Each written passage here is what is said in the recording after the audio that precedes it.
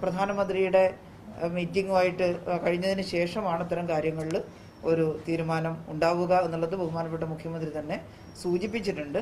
നമ്മൾ പറഞ്ഞത് തികച്ചും യാത്രക്കാരുടെ സുരക്ഷ മുൻനിർത്തിയുള്ള കാര്യങ്ങളാണ്. എന്നാൽ മറ്റുള്ളവർക്ക് ഇതേപോലെ റിപ്ലിക്കേറ്റ് ചെയ്യാൻ പറ്റുമെന്ന് എനിക്കറിയില്ല. നല്ല ശക്തമായ പഞ്ചായത്തും ഭരണസമിതിയും ഒന്നും ഇല്ലാത്ത ഗ്രാമങ്ങളിൽ ഹോം ക്വാറന്റൈൻ ഒന്നും വിജയിക്കില്ല ഒന്ന്. രണ്ട് നമ്മുടെ കേരളത്തിലുള്ള സാമൂഹ്യ വികാസത്തിന്റെ ഭാഗമായി ചെറുതെങ്കിലും ഒരു വീടുണ്ട് പലർക്കും. ഉത്തരേന്ത്യൻ സംസ്ഥാനങ്ങളിലെല്ലാം ഗ്രാമങ്ങളിൽ ആകെ ഒരു കുഞ്ഞ് കുടിൽ പോലെയുള്ള മുറിയിൽ അവരെ ഏത് ഹോം ക്വാറന്റൈനിൽ അയക്കാനാണ്. അപ്പോൾ പ്രായോഗികമായിട്ട് ചിലപ്പോൾ നമ്മൾ ചെയ്യുന്നത് എല്ലാവർക്കും അതേപടി ചെയ്യാൻ കഴിഞ്ഞു എന്ന് വരില്ല. പക്ഷെ നമ്മളാണ് ഹോം ക്വാറന്റൈന്റെ പ്രസക്തി പറയുന്നത്. ഇൻസ്റ്റിറ്റ്യൂഷൻ ക്വാറന്റൈന് അതിന്റെതായിട്ടുള്ള ഗുണവും ദോഷവും ഉണ്ട്. ഹോം ക്വാറന്റൈനും അതുണ്ടാവാം. ഇപ്പോൾ സെൻട്രൽ ഗവൺമെന്റും ഹോം ക്വാറന്റൈൻ ആണ് ഫലപ്രദമെന്ന് പറഞ്ഞിരിക്കുകയാണ്. അപ്പോൾ കേരളം ഇത്തരം കാര്യങ്ങളെല്ലാം ഈ പിന്നെ സിംറ്റം ഇല്ലാത്ത കേസ് നമ്മൾ എന്താ എടുത്ത തീരുമാനം?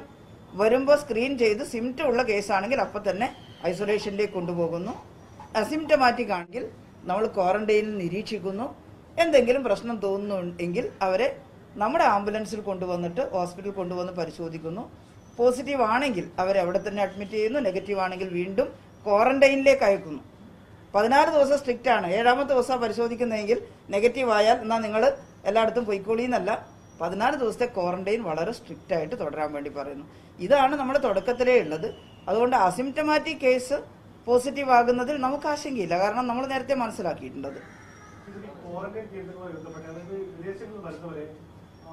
അവർ വീടുകളിലേക്ക് പോകണം എന്ന് നിർബന്ധിക്കുന്നു. കാരണം ചില വീടുകൾ ഈ കുറെ സംസ്ഥാനങ്ങളിൽ സൗകര്യങ്ങൾ ഉണ്ടാവില്ല. പക്ഷെ അവരോട് നിർബന്ധപൂർവം പോകാൻ പറയുന്നുണ്ട് ചില ചിലവരൊക്കെ വിളിച്ച് പറയുന്നുണ്ട്. അത് വ്യക്തിപരമായിട്ട് ഏതെങ്കിലും ഒരു സ്ഥലത്ത് പരാതി ഉണ്ടോ പരിഹരിക്കാവുന്നതേ ഉള്ളൂ. അങ്ങനെ വളരെ അപൂർവേ അങ്ങനെ ഉണ്ടാവുന്നുള്ളൂ. കാരണം ഇവർ വരുമ്പോൾ തന്നെ ഇവരുടെ വീടെല്ലാം പോയി നോക്കുന്നുണ്ട്. ആരോഗ്യ പ്രവർത്തകരും പോലീസും എല്ലാം കൂടി. അവിടെ ഒറ്റയ്ക്ക് ബാത്റൂമും അതിനുള്ള ടോയ്ലറ്റ് സൗകര്യവും ഒന്നുള്ള മുറി ഇല്ലെങ്കിൽ ഇൻസ്റ്റിറ്റ്യൂഷൻ ക്വാറന്റൈൻ തന്നെ നമ്മളും പ്രിഫർ ചെയ്യുന്നത്. എന്തുകൊണ്ട്? നമ്മുടെ ആഗ്രഹം എന്താ? ഇയാൾ നിന്ന് രണ്ടാളിലേക്ക് വരരുത് എന്നല്ലേ? പോസിറ്റീവ് ആകുന്ന ആളുകളുടെ എണ്ണം കുറക്കണമെന്നല്ലേ? മരണം കുറക്കണമെന്നല്ലേ?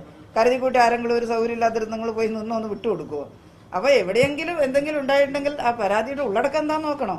ചിലപ്പോൾ ആരെങ്കിലും പ്രേരിപ്പിച്ചിട്ട് വെറുതെ പറയുന്നതാണോ? അല്ല വാസ്തവം ഉണ്ടാവാം. ഇത്രയും ചെയ്യുമ്പം എവിടെയെങ്കിലും ഒരു പരാതി ഉണ്ടായിട്ടുണ്ടെങ്കിൽ നമ്മൾ തള്ളിക്കളയണ്ട. അത് ഏതാണെന്ന് മനസ്സിലാക്കിയിട്ട് ഇടപെട്ട് പരിഹരിക്കാം. ദിവസത്തെ നിരീക്ഷണ കാലാവധിയാണ് നമ്മൾ തുടരുന്നത്. പക്ഷെ ചിലരോട് പതിനാല് ദിവസം